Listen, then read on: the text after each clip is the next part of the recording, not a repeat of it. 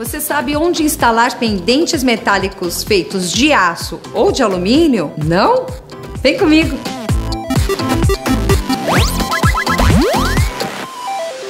Gente, vem cá. Os pendentes metálicos são tão lindos e diversos que acaba surgindo dúvidas de onde instalá-los. Mas calma, eu vou te ajudar te dando dicas para sua melhor escolha. Eles servem para os mais diversos ambientes, como dormitórios, cozinhas, banheiros, salas, espaços comerciais ou corporativos. Ou seja, em todos os lugares. Combine com móveis feitos de madeira ou aço, escrivaninhas, cabeceiras, tampos de vidro ou bancadas rústicas de cimento ou madeira. Você pode aplicá-los tanto em paredes pintadas quanto revestidas. Mas você sabe em qual altura eles devem ficar instalados? Em mesinhas de cabeceira, entre 30 e 50 centímetros. Já em mesas de jantar ou de estar, o ideal é que fique entre 75 e 90 centímetros, permitindo assim que ilumine a mesa como um todo. Se sua mesa for muito grande, coloque mais de um pendente, lembrando que estilos semelhantes causam uma boa impressão. Quer ver só como eles ficam aplicados?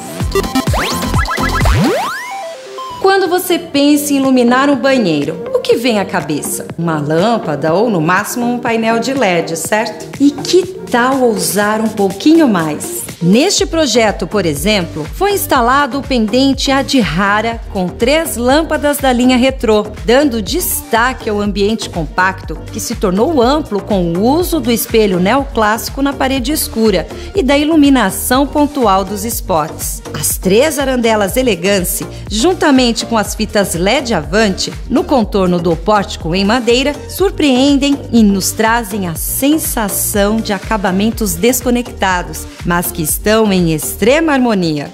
Vamos mudar de cômodo? Este quarto de casal une três pendentes que se destacam e criam de forma harmoniosa um ambiente aconchegante. O pendente hash ao centro da cama faz a iluminação principal, com destaque para as hastes desalinhadas, colocadas assim de forma proposital, através de suas articulações, trazendo movimento e leveza ao ambiente. O pendente Lefer com formato fechado faz o papel da iluminação e decoração pontual pontual da cabeceira. Já na mesa de trabalho, destaca-se o pórtico de madeira, dividindo naturalmente os ambientes do dormitório através de dois pendentes Texas, aplicados com alturas diferentes, fazendo deste cômodo um lugar personalizado para as tarefas do dia a dia. E aí, vamos dar um pulinho na sala? Olha que sensacional o uso de soluções de luz indireta. Neste ambiente foi utilizado fita LED avante nas laterais do forro de gesso e também nos destaques do quadro, enfatizando a parede na cor verde. Com uma proposta voltada à natureza, foram instalados três pendentes da linha Nature com lâmpadas retrô e em alturas diferentes, perfeitos para colocar uma planta natural ou artificial, graças à sua base em vidro, possibilitando trazer a natureza para dentro da sua casa.